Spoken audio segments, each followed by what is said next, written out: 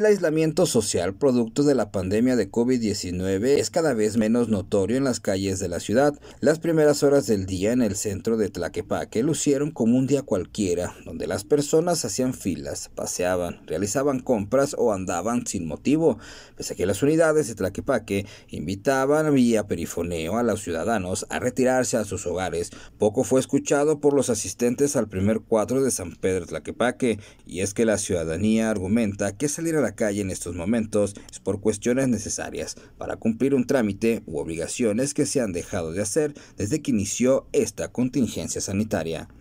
Por ejemplo, yo tengo muchas pues, cosas pendientes que dejé que no puedo salir, que tengo que venir a fuerzas a, a tramitar o arreglarlo.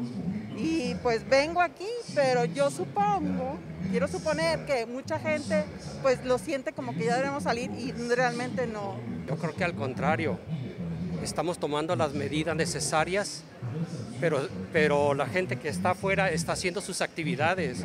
No podemos dejar de hacer actividades. Sí, no se ha bajado, la guardia tiene que estar la gente resguardada, aunque inician negocios, pero también están mal informados.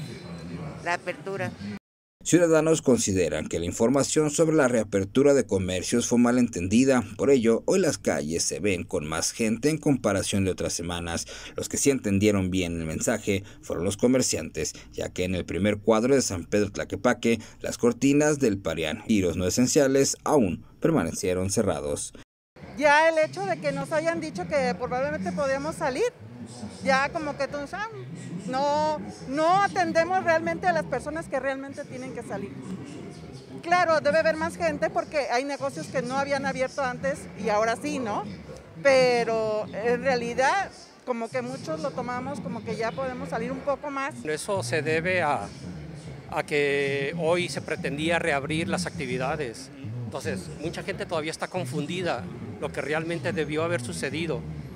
Eh, nos avisaron de que ya podíamos uh, iniciar actividades, trabajar y todo con las medidas necesarias, pero en realidad este, no fue así. Sí hay confusión porque se retractó, dijo una cosa y luego dijo otra.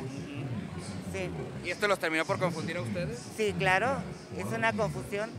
Con las imágenes de Eduardo Fierro, Pablo Toledo López, señal informativa.